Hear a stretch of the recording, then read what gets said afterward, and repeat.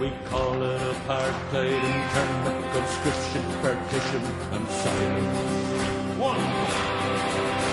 It's a law that they make to keep you and me where they think we belong.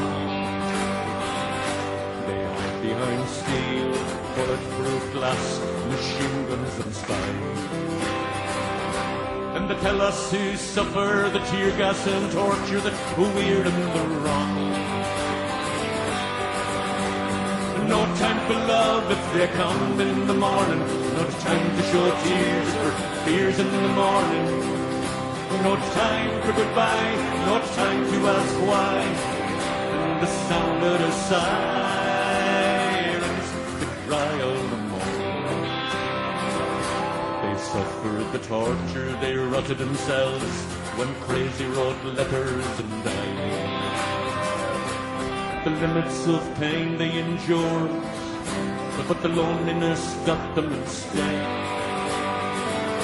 The courts gave them justice, as justice is given by a well-mannered house. Sometimes they fought for the will to survive, more times they wished they were dead.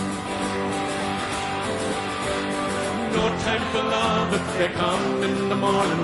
No time to show tears for fears in the morning. No time for goodbye and no time to ask why. And the sound of the sirens, the cry of the morning. They took away Sacco, Vanzetti, Bobby Seale, the Black Panthers as well. They came for Patsy O'Hara, Francis Hughes, and his Strem. In Boston, Chicago, Saigon, Santiago, the Bogside, and Belfast.